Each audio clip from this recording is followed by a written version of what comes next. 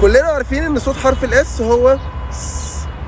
بس لو جه مع حرف ال S حرف ال U هيتنطق شو. زي الكلمتين اللي معانا دول.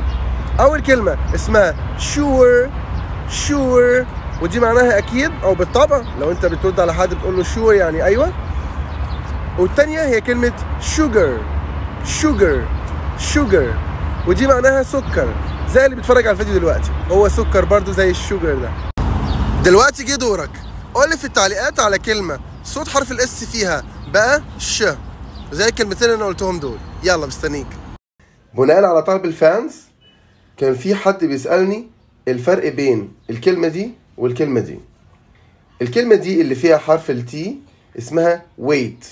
ودي ممكن تيجي بمعنى الوزن نفسه ده noun اسم يعني أو ممكن تيجي بمعنى آه، يزن اللي هي الفعل. أما الكلمة التانية اللي ما فيهاش T بتنطق كده. weigh weigh weigh بالشكل ده. ودي بتيجي verb بس.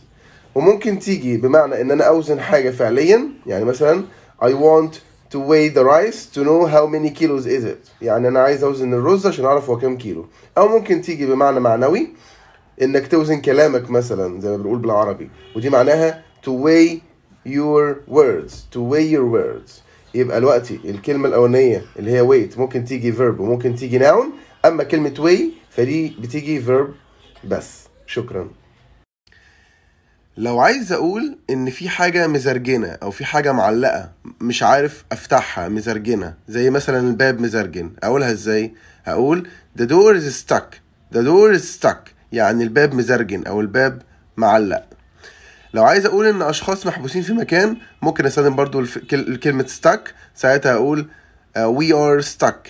We are stuck in the room. يعني إحنا محبوسين في الأوضة. We're stuck in the elevator. يعني إحنا محبوسين في الأسانسير.